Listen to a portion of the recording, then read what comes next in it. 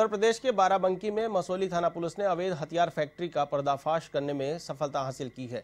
मामले में पुलिस ने दो आरोपियों को गिरफ़्तार किया है और मौके से हथियार बनाने के उपकरण सहित एक राइफल भी जब्त की है। आपको बता दें कि मुखबिर से सूचना मिलने पर पुलिस ने मसौली रेलवे क्रॉसिंग के पास खाली पड़े मकानों में दबिश दी, जहाँ अवैध हथियार बनाते दो आरोपियों को गिरफ़्तार किया गया।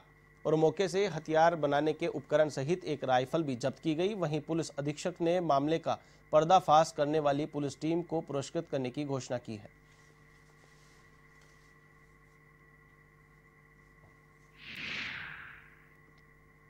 क्षेत्र अंतर्गत रसौली रेलवे क्रॉसिंग हम्म, पार करते हुए जयपुरिया स्कूल के पास में एक झाड़ झंखाड़ खेत है। एक मुखबिर के द्वारा सूचना प्राप्त हुई थी।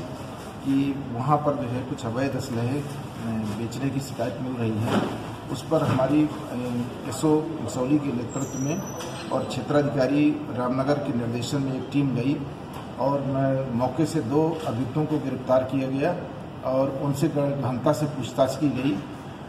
उस पूछताछ के दौरान और तलाशी के दौरान एक अदैत राइफल, दस जो है निर्मित जो है, अवैध तमंचे व बने अधबने अन्य फैक्ट्री से संबंधित उपकरण बरामद हुए हैं और इसमें से जो चैतु है, अभियुक्त इसका ये पूर्व में भी शस्त्र फैक्ट्री के संबंध में देश और दुनिया की हर छोटी बड़ी खबर के लिए सब्सक्राइब करें एवन टीवी न्यूज़ साथ ही बेल आइकन को प्रेस करें ताकि आप पा सकें ताज़ा खबरों की नोटिफिकेशन